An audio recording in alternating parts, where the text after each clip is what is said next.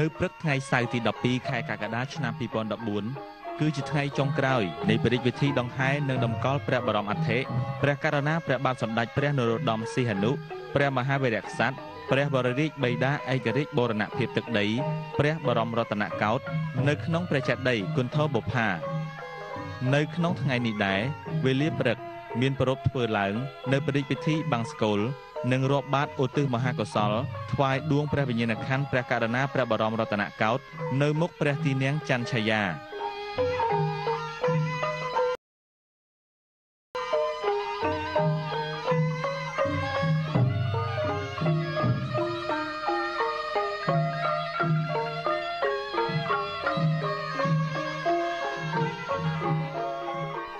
មិនខុសពីថ្ងៃទី1ដែរនៅទីនេះការជួបជុំពុទ្ធបរិស័ទមកពីគ្រប់ទិសទី នៅក្នុងនោះមានដូចជាមន្ត្រីរាជការមកពីក្រសួងមន្ទីរស្ថាប័ននានាប្រជាពលរដ្ឋគ្រប់ស្រទាប់វណ្ណៈមកពីតំបន់រាជធានីខេត្តក្រុងទាំងអស់នៅក្នុងព្រះរាជាណាចក្រកម្ពុជា ដើម្បីប្រារព្ធព្រះរាជពិធីបាំងស្កូលនិងរាប់បាតឧទ្ទិសមហាកុសលថ្វាយដួងព្រះវិញ្ញាណក្ខន្ធព្រះករុណាព្រះបាទសម្ដេចព្រះនរោត្តមសីហនុ ព្រះមហាវីរក្សត្រព្រះវររាជបិតាឯករាជ្យបូរណភាពទឹកដីព្រះបរមរតនកោដ្ឋនៅក្នុងបរិយាពិធីបាំងស្កូលនិងរាប់បាតនេះមានការយាងនិងនិមន្តពីសំណាក់ព្រះថេរានុថេរៈចំនួន3600អង្គចែកចេញជា4ផែនដែលផែននីមួយៗមានព្រះថេរានុថេរៈចំនួន900អង្គព្រះថេរានុថេរៈទាំង3600អង្គ បានយាងនិងនិមន្តមកពីវត្តអារាមនានា នៅទូទាំងរាជធានីខេត្តក្រុងនៃព្រះរាជាណាចក្រកម្ពុជានៅក្នុងពិធីពិធីបាំងស្កូលនឹងរាប់បាតនេះបានប្រព្រឹត្តទៅយ៉ាងអធិកអធមនិងប្រកបដោយទឹកចិត្តជ្រះថ្លាក្រៃលែងពីសំណាក់ពុទ្ធបរិស័ទដែលជាកូន ជាចៅចៅទួតរបស់សម្ដេចឪសម្ដេចតាសម្ដេចតាទូតយើង ដើម្បីជាសក្ខីភាពបញ្ជាក់នៅការតបស្នង ចំពោះព្រះគុណូបការៈ ដ៏មហាធំធេងរបស់សម្ដេចឪសម្ដេចតាសម្ដេចតាទូតនៃយើង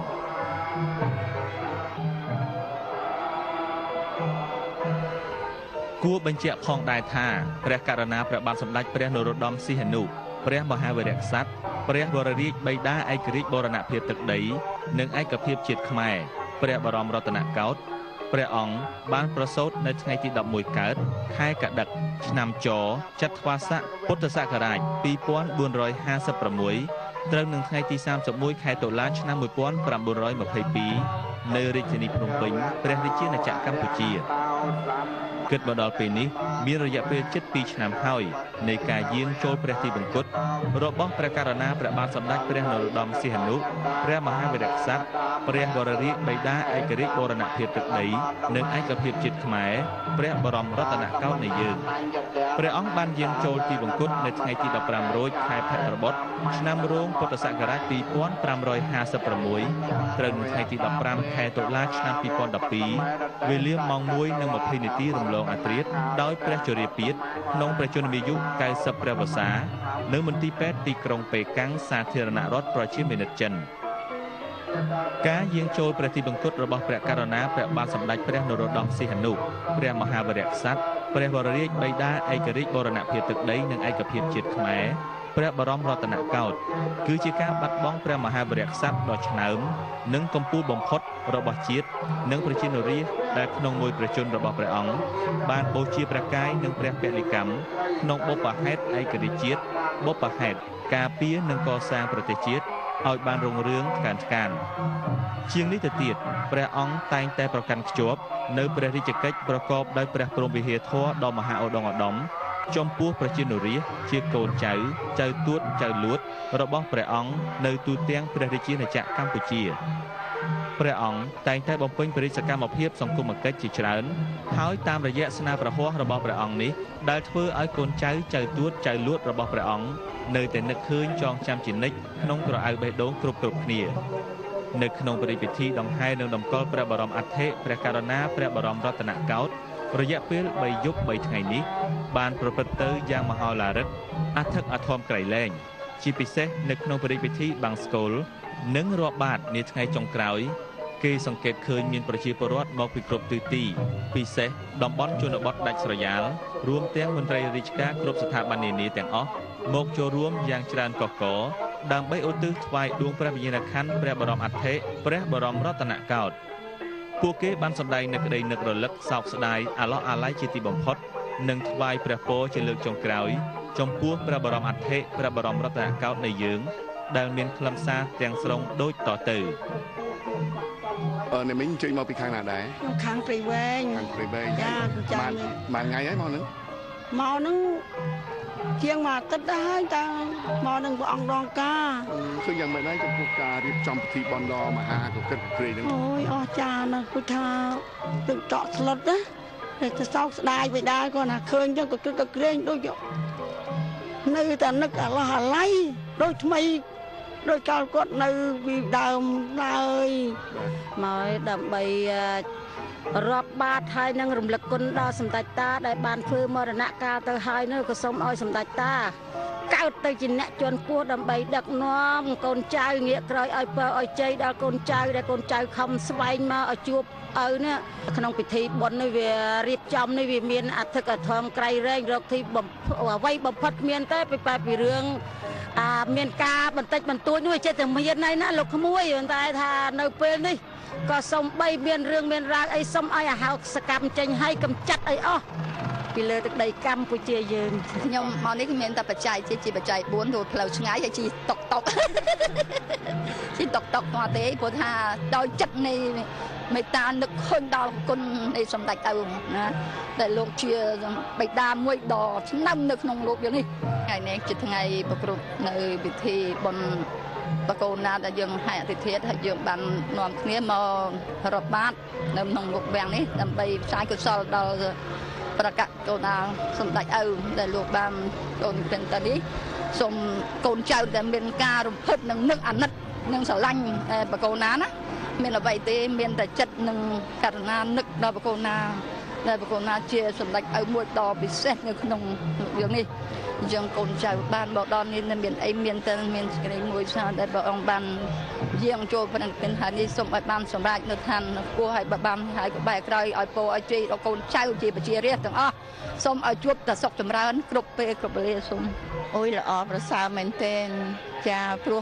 កាលដែលសម្ដេចសុរាមរិទ្ធចកត់ទៅ គឺថារៀបចំដែរតែខ្ញុំនៅក្មេងណាខ្ញុំមើលដែរខ្ញុំបានមកពេលថ្វាយព្រះភ្លើងដែរតែអត់បានសពដូចឥឡូវដែលមានទូទស្សន៍គឺថាពេញផ្ទះគ្រប់ផ្ទះបានមើលសពគ្រប់គឺថា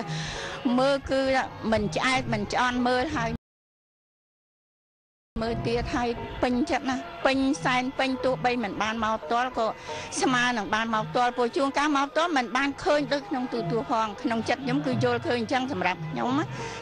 ថ្ងៃនេះខ្ញុំមានតែមេរៀមដែល14សួងទៅដល់ទេវតាឋានលើទាំង8ទិសនិងវត្ថុស័ក្តិសិទ្ធិលើលោកនេះនិងបារមីព្រះអង្គឆ្វេតឆាតនិងបារមីព្រះអង្គដង្កើណាជាធំហើយខ្ញុំមានសំណាងណាស់ដែលថ្ងៃនេះបានមករាប់បាតនៅមុខបរមរាជវាំងតែម្ដងអញ្ចឹងជូនអានិសង្ឃនេះទៅដល់សម្ដេចឪជាទីគោរពរបស់កូនស្រីម្នាក់នេះ ដែលតែងតែធ្លាប់បានចាប់ដល់ប្រហោះព្រះអង្គច្រើនដងទៀតណាឈរតាមដងផ្លូវទទួលព្រះអង្គនៅខេត្តបាត់ដំបងអញ្ចឹងថ្ងៃនេះសូមឲ្យវិញ្ញាណក្ខន្ធព្រះអង្គទៅកាន់សុគតិតិភពគឺថាសុខសាន្តជាទីបំផុតចាសម្រាប់ខ្ញុំខ្ញុំមក3ថ្ងៃ3ថ្ងៃហើយអ្នកមីងមើលឃើញយ៉ាងម៉េចដែរនៅទស្សនវិជ្ជានៃការរៀបចំព្រះរាជពិធីដង្ហែនិងតម្កល់ព្រះអធិនៃបរមរតនកោដ្ឋយើងខ្ញុំមើលឃើញសម្បើមអស់ទាស់ហ្មងគ្មានរកអីព្រៀបបំបានគឺសម្ដេចនាយកហ៊ុនសែនគាត់ធ្វើឬសម្ដេចម៉ែគាត់ធ្វើនេះបនសម្ដេចឲ្យយើងនេះអស់ទាស់ហើយលោកគ្រូពេញចិត្តដល់ហើយហើយក្នុងនឹងដែរតើអ្នកមីងមានអារម្មណ៍មិនដែរខ្ញុំមានអារម្មណ៍រំភើបសប្បាយរីករាយក្នុងកម្មវិធីបុណ្យហ្នឹងបានសុខចិត្ត មកតាំងពីម្នាក់ឯងក៏មកដែរជាបរដ្ឋយើងក៏ដូចជាមន្ត្រីរាជការនិងថ្នាក់ដឹកនាំនៅបានចូលរួមយ៉ាងអធិកអធមនៅក្នុងពិធី3ថ្ងៃនេះដោយមានការរៀបចំតាមក្បួនប្រពៃណីសាសនាល្អប្រសើរណាស់ហើយសន្តិសុខស្ដាប់ធ្នាប់ក៏បានល្អប្រសើរទៀតផងហើយក៏យកឱកាសនេះសូមថ្លែងអំណរគុណចំពោះប្រជាពលរដ្ឋទូទាំងប្រទេសក៏ដោយរាជធានីភ្នំពេញដែលបានចូលរួមដែលជាទឹកចិត្តនៃកាយវិការព្រមទាំងបរិច្ចាគនៅទុនធានជាច្រើន សម្រាប់ឲ្យកិច្ចដំណើរការ3ថ្ងៃនេះបានប្រកបដោយជោគជ័យសូមគោរពបញ្ជាក់ជូនផងដែរថាយោងតាមកម្មវិធីដែលបានគ្រោងទុកនៅថ្ងៃចុងក្រោយនៃបរិយាពិធីដង្ហែនិងតម្កល់ព្រះបរតេព្រះករណាព្រះមហាវីរក្សត្រព្រះវររាជបិតាជាខ្មែរព្រះបរមរតនកោដ្ឋនេះ ចាប់ពីម៉ោង11ដល់ម៉ោង15គឺមានការអនុញ្ញាតជូនប្រជាពលរដ្ឋចូលថ្វាយព្រះបង្គំព្រះបរមអធិព្រះករណាព្រះបរមរតនកោដ្ឋនៅក្នុងព្រះឧបោសថរតនារាមព្រះកែវមរកតនាវេលាចុងក្រោយដើម្បីបានបង្ហាញនៅក្តីនឹកអាឡោះអាល័យជាពុនពេកក្រៃលែងរបស់កូនចៅចៅទួតជាប្រជារាស្ត្រចំពោះព្រះមហាកុណូបការៈដ៏មហាធំធេងរបស់សម្ដេចឪសម្ដេចតា សម្ដេចតាទួត ដែលក្នុងមួយប្រជជនរបស់ព្រះអង្គបានបូជាព្រះកាយនិងព្រះពលិកាដើម្បីបបហេតឯករាជ្យជាតិបបហេតការពារនិងកសាងព្រះរាជាណាចក្រកម្ពុជាស្គមស្កើនរុងរឿងតរៀងទៅ